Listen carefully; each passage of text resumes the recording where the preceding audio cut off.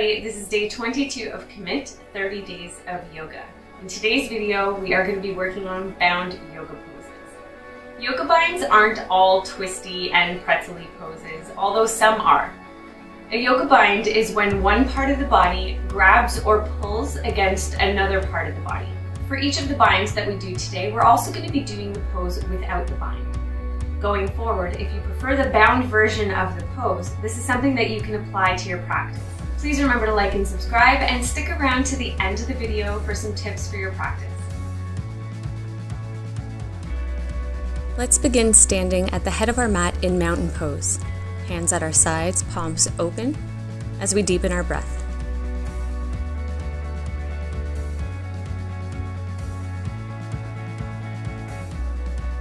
Inhale, arms up. Side bend to the right.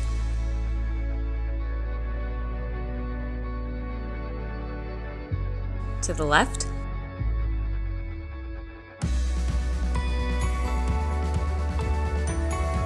To center. Pick up the right leg, knee to chest.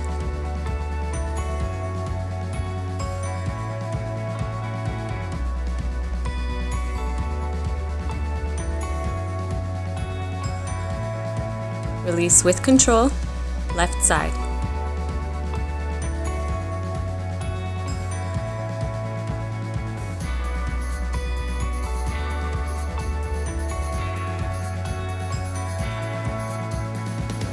And release.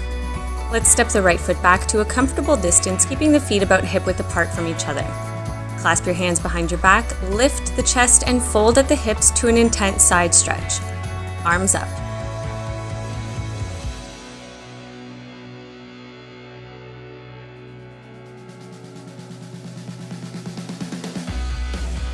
Releasing just the hands to a prayer position around that front leg. If you like, drawing them against the leg to help deepen the stretch, or simply holding them here. Release hands to heart as we return to standing. Come to float on the left foot to a warrior three position. Extend your arms forward. This is the unbound version of warrior three.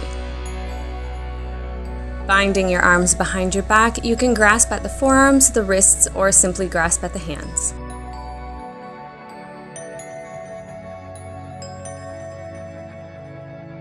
Stepping back to a warrior one, arms up.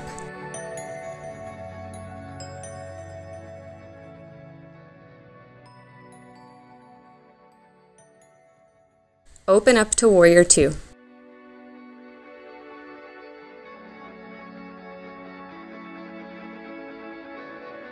To extended side angle. Arm up, keep the chest open. This is our unbound version of extended side angle. We're going to be doing two binds in extended side angle. Going into the first one, simply lowering the arm to bind behind the back. If you can reach, the hand can rest on the front thigh.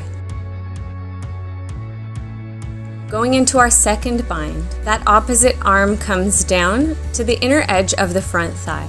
We reach underneath it and behind the back, grasping hands here or holding at our wrists. Try as much as possible to keep the chest lifted and open, gazing up if you can.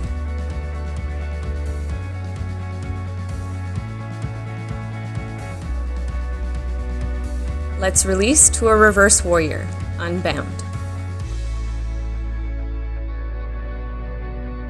To bind, Similar to extended side angle, we take that lower arm behind the back and if we can reach the hand to the front thigh.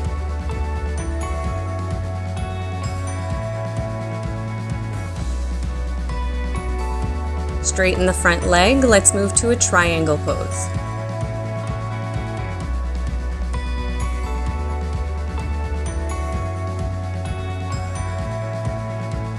Triangle, we're gonna lower that top arm, binding it behind the back.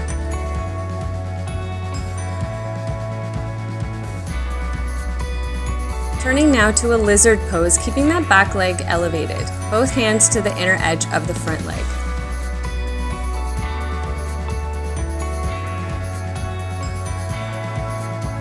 You can stay here or lower to your forearms. If you were able to lower to your forearms and feel comfortable here, we can move to a bind. We're going to engage the legs and the core very strongly as we wrap the arm closest to the leg beneath it and behind the back, reaching the opposite arm behind the back to meet it.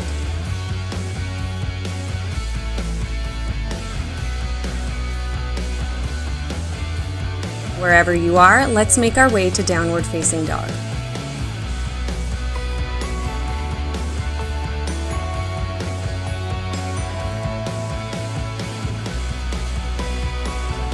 That same leg forward to pigeon pose.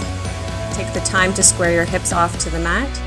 Lift the chest, getting long through the back before we fold over that front leg.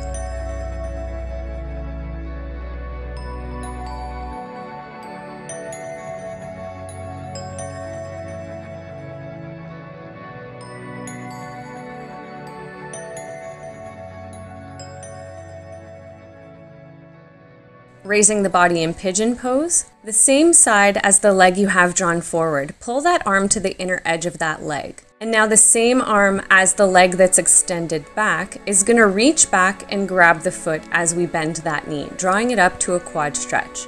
If you're comfortable here, we might proceed to a mermaid pose, or you can just return to pigeon. To get into mermaid pose, we first want to bring our foot to the elbow crook.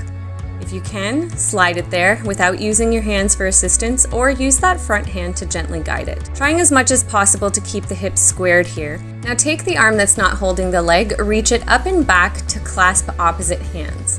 One arm binds the foot, the other arm is binding behind the head. If you fall over like I did here, especially on your wrong side, you simply have to readjust once you're in position. Carefully release and make your way back to downward facing dog.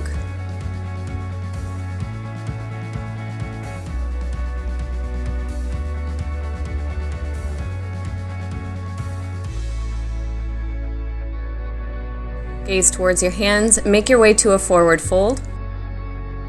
Inhale to a half lift. Exhale, fold. Inhale all the way up. Exhale, hands to heart. Step your left foot comfortably back, keeping the feet hip distance apart. Clasp your hands behind your back, raise the chest, and fold forward from the hips to an intense side stretch, arms reaching up.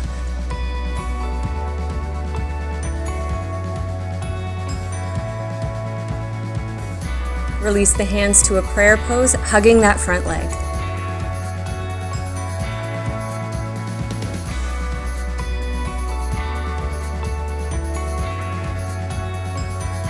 Hands to heart, return to standing. Float the back foot up and hinge to a warrior three pose, extending the arms ahead of you.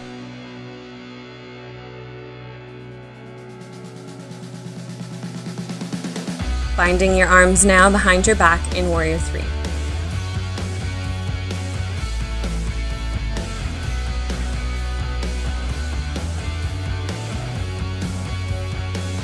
Make your way to a Warrior 1 pose, arms up.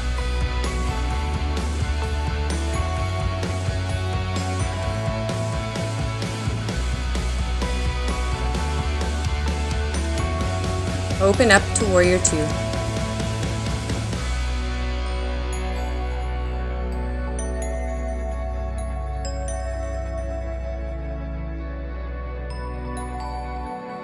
To extended side angle.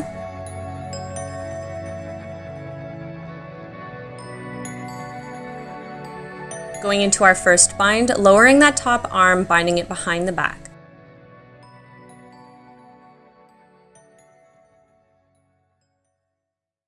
Stay here or going into our second bind, lower arm reaches below and behind the front leg, grasping hands behind your body.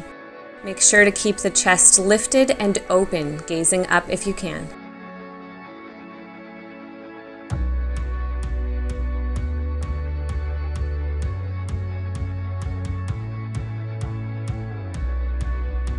Release and make your way to Reverse Warrior.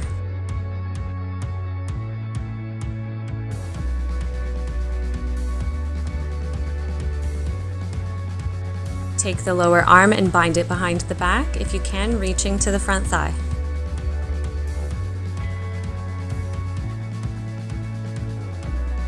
Straighten the front leg and move to a triangle pose.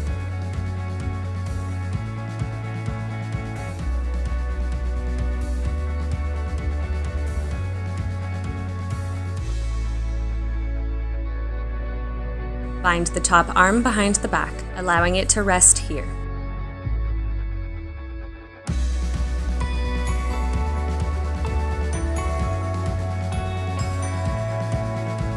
Bend the front knee and turn to a lizard pose, both hands to the inner edge of the front leg, keeping the back knee elevated. Stay on your hands or option to lower to your forearms. Again, and only if this is comfortable, option to bind in lizard pose, engaging the legs and core firmly, reaching the hand nearest the leg beneath it and behind your back as we reach back with the opposite hand to grasp.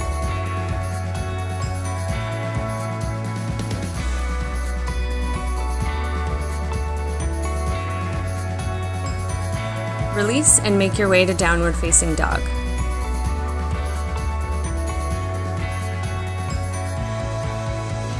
Same leg forward to pigeon pose. Always taking the time to get comfortable in pigeon pose, making sure we're properly aligned before holding it. Getting long through the back, we fold over that front leg.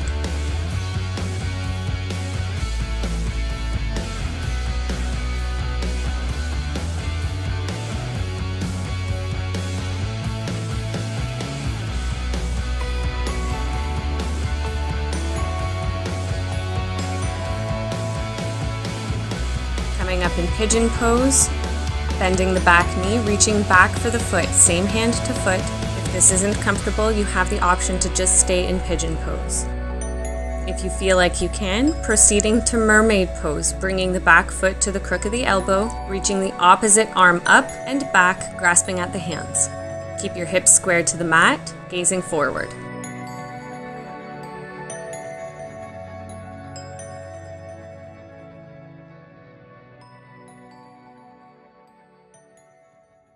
Release with control and step back to downward facing dog.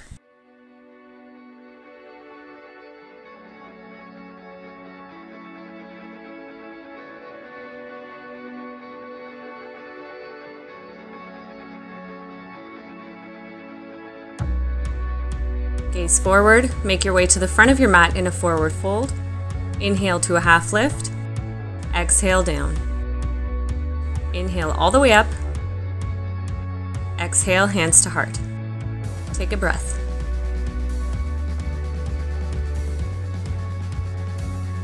Shifting your weight to your left foot, let's pick up the right foot and send it out to the side in an extended hand to big toe pose. Get long through the grounded leg, chest lifted, deepen your breath.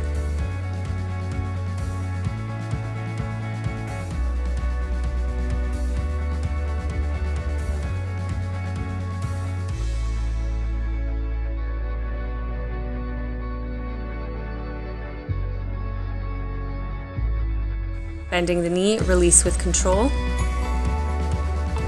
Opposite side. Left leg up. Make sure we're standing up tall before we extend.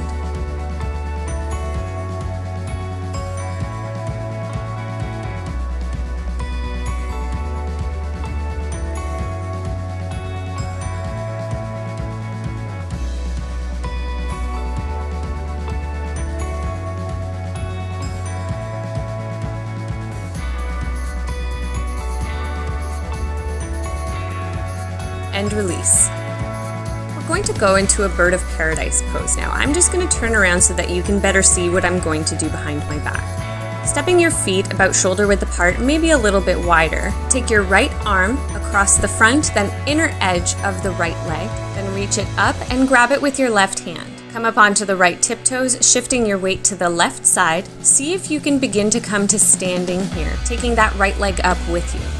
Now, if this is as far as you can go, just stop here. Otherwise, if you feel like you can get your balance, see if you can come all the way up to standing. If so, begin to extend that right leg out long, pointing the toes. This is a bird of paradise pose. Release with control. Let's go to the left side.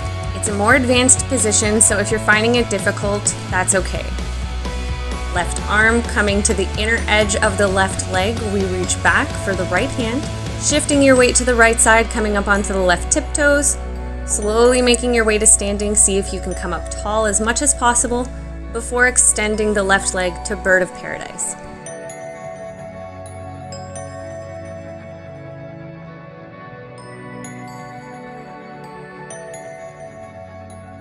And release. Good. Hands to heart. Let's step our feet as wide as our mat, toes spilling off as we lower to a garland pose. Getting open through the hips, engaging the legs here without relying only on the arms to keep them open. Position your right hand ahead of the right toes. Twisting to the left, let's reach the left arm up in a garland twist. This is our unbound version of this pose. To bind, if you can, we're gonna drape the right arm across and back that right leg. Left hand comes down behind the back to meet it. If you are able to clasp hands, open that chest, keep gazing up. If not, just actively reach your hands towards each other. Release, hands together at heart center. Over to the left side, left hand ahead of the left foot, twisting to the right, reaching that right arm up.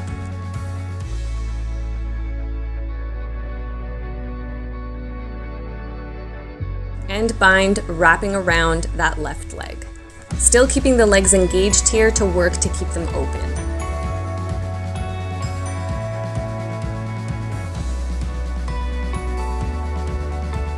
And release to center, hands to heart. Come to seated, taking the soles of the feet together in a bound angle position. Holding onto the feet or ankles, Draw your knees down towards the mat as you sit up tall, getting long through the neck. Take a few breaths here.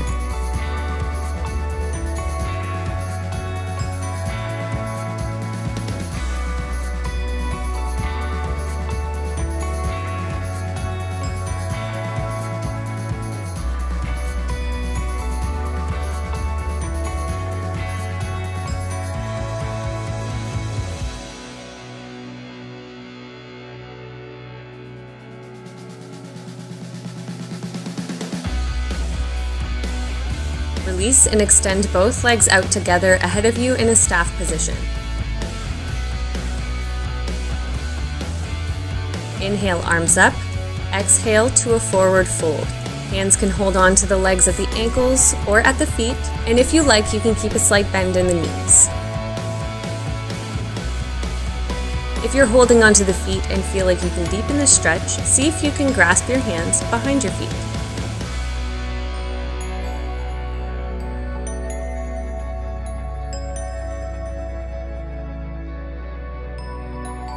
And release. Let's draw that right knee into chest. Left hand down to the side, reach the right arm up to the inner edge of the right leg to grasp the outer edge of the left foot. Try to keep the back straight as much as possible here as we lean forward. This is a version of Marichi's pose that is unbound. To bind, let's take that right arm across the front of the right leg wrapping it back as we grasp our hands behind our back. Here we're squeezing the leg in the bind to help us fold forward a little bit deeper, taking nose to knee. Keep the toes of the extended leg pointing straight up.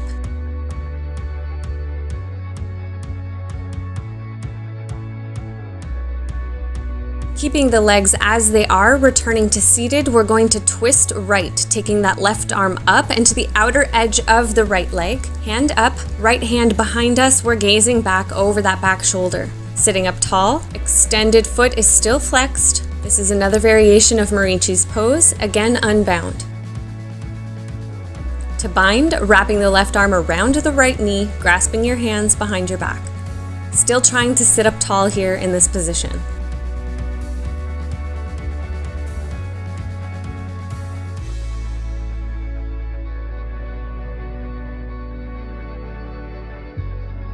And untwist, releasing the right leg.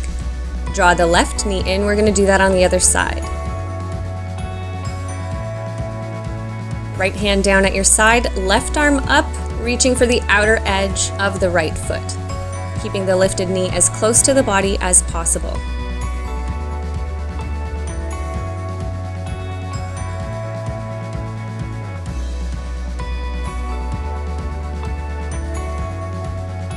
And bind. Left arm around the leg, both hands behind your back. Folding forward as deep as you can, nose to knee, keeping that front foot flexed.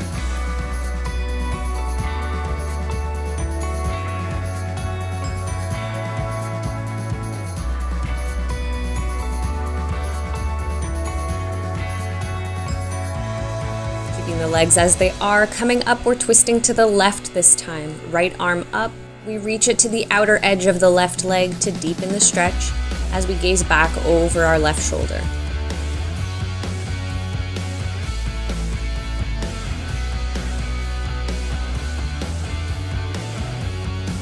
And we bind. Again, if you are unable to grasp hands, simply actively reach them together.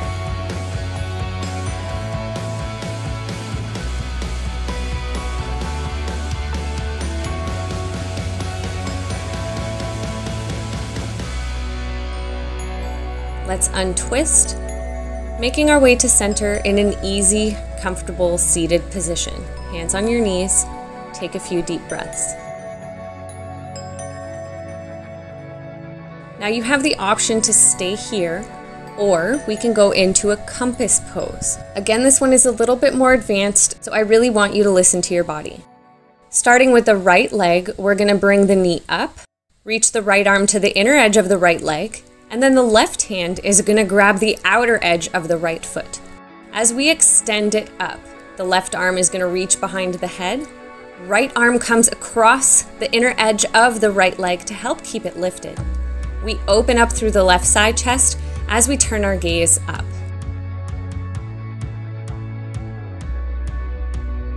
Release with control. Over to the other side. We're bending that right leg in, left knee up. Left arm to the inner edge of the left leg, right hand reaches for the outer edge of the left foot.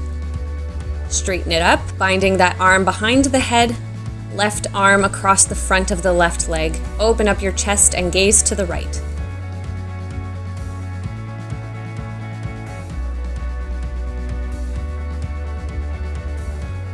And release, returning to an easy pose, hands on your knees or folded in your lap, sitting up tall, taking a few deep breaths here to finish up.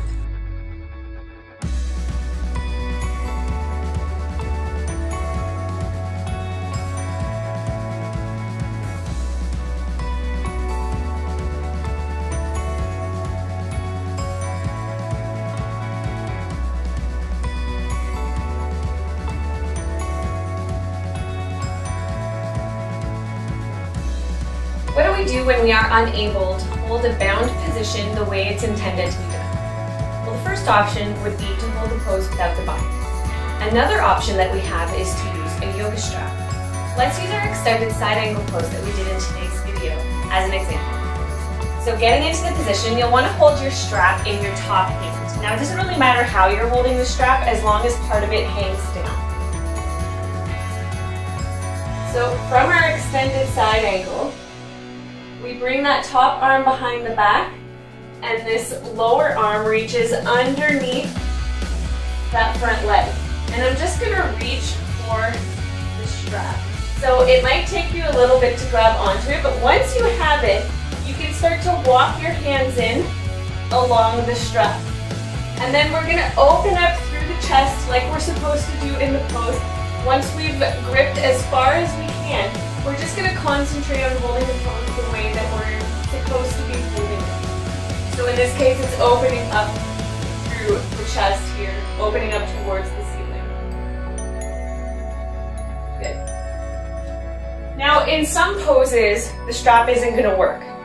For example, our garland twist that we did today. It's a lot harder to grab onto that strap without having to swing it, and you might end up spending the entire time that you're holding the pose just trying to get it or you may not have a strap. So in that case, what you're gonna do is you're just gonna actively reach your hands towards each other. So if I'm twisting open and then my intention here is to bind but I can't reach, I'm just gonna actively reach those hands towards each other, still focusing on exactly what I'm supposed to be doing in this pose, which is again, opening up that chest.